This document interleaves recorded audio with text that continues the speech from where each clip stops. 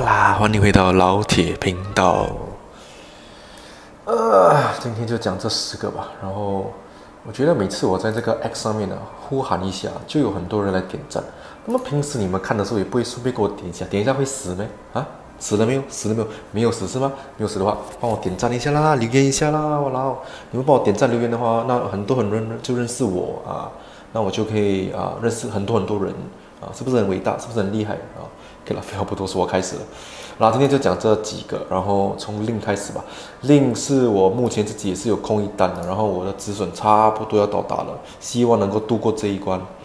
七二六，我的止损在七三零，七幺多进的七三零出场，然后希望能够度过这一关。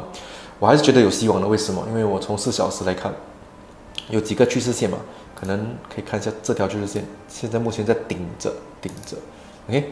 所以这里我也看到的就是一个暴增量来到这条线七二零左右，它又上去去到最高点七二六，应该差不多了啦。这个如果它真的爆上去突破七三零的话，那它下一步可能去到八块了。那我也不可能拿着我的空单拿到它去到八块嘛，会止损先。它回到八块的时候，我再看要不要再更高的价格去空它。所以令这个就是我的方案。可以下一个看比特币。哎，比特币上一期就讲是跌的，然后果然跌了。OK，美联储这个呃暂时不减息嘛，然后市场就没有脑。今天早上开盘拉盘被砸下来。OK 啊，比特币这一波我觉得至少砸到这个蓝色区，但真的突破这个蓝色区的几率也是有的。所以我们走一步看一步吧，不要做算命佬。然后希望 到达这个 level 的时候。牛还可以苏醒过来推一波，OK。如果它直接砸破这个蓝色区域的话，那那个空军真的赢了。那下一波它的底啊，我都不懂真的在哪里，可能又回归两万了。OK，这是比特币，看一下以太坊。喜欢这种快快啊，讲完也不用太多废话啊。诶，以太坊也是上一期讲到的，就是在这个一千六百多这个阻力测试一次两次，上个礼拜五还是拜四你空的话，应该在赚钱了。只是以太坊现在来到一个 支撑，也不懂这个支撑强不强了。然后我觉得安全的方案还是这个 level 不要空。如果任何的反弹，继续的高空，我不懂这个蓝色区能不能顶着。但顶不住的话，哇，下一个那个那个很远的很远，下一个它会去到的 level 可能是这里了，也没有很远了，就回到这边了，回到那个趋势线上一千四百多。诶，这是以太坊。然后有人叫我看两三个人叫我看 CRV，也不懂为什么，是不是拉盘？看一下四小时啊，拉盘我们来高空，哇，这个蛮漂亮的，有很多爆增量出货的现象。可以，然后也不懂怎么看，趋势线拉一拉，画一画，乱乱画哈，乱乱画可能乱乱到可以乱乱乱发财也是。诶，这个 level。看起来真的好像是一个蛮不错的顶嘛，然后有暴增量。RSI 从这个仓买出来的话，你们喜欢干它的话，你们去干吧。这个我不熟悉，我也不知道流动性好不好。然后最近你们如果要做多做空，也是要看一下那个资金汇率了。如果太高的话，就不要乱七八糟，不用杠杆，直接用呃百分百一倍的没有杠杆了，直接去干它。不然你花你付那个汇率很痛。我知道上次我就被那个什么啊 TRB 教训了，好痛！本来赚钱的，因为我无无缘无故去用的杠杆，然后变成倒亏了。可以看一下风提莫，最近很久很少听到风提莫唱歌了，他最近好不好？风提莫，嘿，这个好像这个好卡，这个真的没有行情，无聊死。但有这条趋势线吧，就是每次上来反弹做空，反弹做空，可以反弹做空，反弹做空，反弹做空。我觉得就是这样玩了，不要看到一根绿绿，你就要去跳进去去做多，不一定的，可能来到这里没有力，又要继续的下跌了。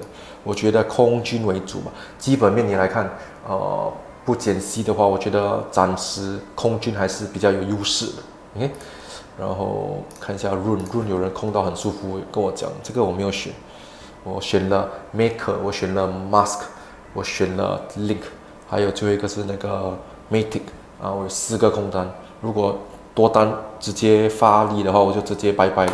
啊，我每一个都有止损的。而且这个润挺漂亮的啊，蝙蝠，然后如果你在一九六空的话，在一六多了，啊，目标价怎么去找是呃，你可以考虑用这个 AD 的三八二六幺八做参考，好像你拿这个 AD 三八二，其实已经到达第一目标了，然后第二目标在差不多一块六毛一左右，来到这边的话，你记得要出场一部分了，不要像我这样每次都拿太久，赚钱变亏钱，笨蛋啊，不要跟我一样做笨蛋，做聪明一点的笨蛋，OK，这个是 run。然后呃，这个 m a s 我有这个这个那天发完视频，然后我在那个 Twitter 上面有一直讲一直讲啊，然后我不懂你们有没有多少人看上它了，但我看上它了，因为我在那个二二八左右这里空了，然后慢慢跌慢慢跌，这一波上去我没有被打折，我的止损在二九五，哎，你看我多幸运，然后这一波下来啊，我猜应该可以回到这条趋势线上吧，应该不难，OK。所以啊，可能在二五零左右可以出吧。这里我觉得到了支撑后就差不多了。这一波吃下来是挺爽的，十多二十趴。哎，这个是 mass，你看到吗？横线的阻力，爆增量出货，再加一个斜斜的阻力，全部结合在这个 level，所以这个很漂亮的。那天我在那个 Twitter 也是有讲到那个 IMX 啊，这个如果你没有选这个更好，这个我没有选，这个赚的更快，挣更快更多啊。OK，算了。这个我今天不讲了，呃，有人叫我讲这个蚂蚁，蚂蚁，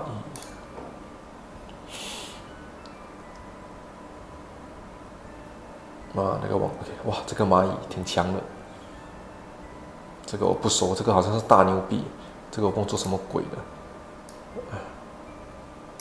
看一下日线吧，四小时看不到，看不到任何事。这种流动性很差的，很容易操控。然后，哇，这个我真的不会玩。这个蚂蚁不是我不要分析，我真的看不到东西。可能能看到的就是一条那个平行通道，这样。哇，不会看，难玩吧？真的要空的话，可能五块钱以上再考虑吧。这个我看不到，我看一下有没有形态。